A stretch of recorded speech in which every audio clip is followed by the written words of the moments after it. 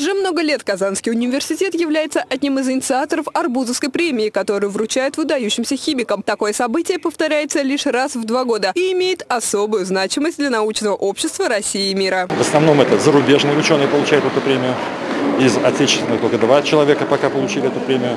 Это самый первый, там Аркадий Николаевич Пудовик был, э, представитель нашей Казанской химической школы, нашего университета, вот, и Ирина Петровна Белецкая. После приветственного слова интрига продолжалась недолго. Заслуженная премия Арбузова в области фосфороорганической химии досталась Манфреду Шейру, профессору из Германии.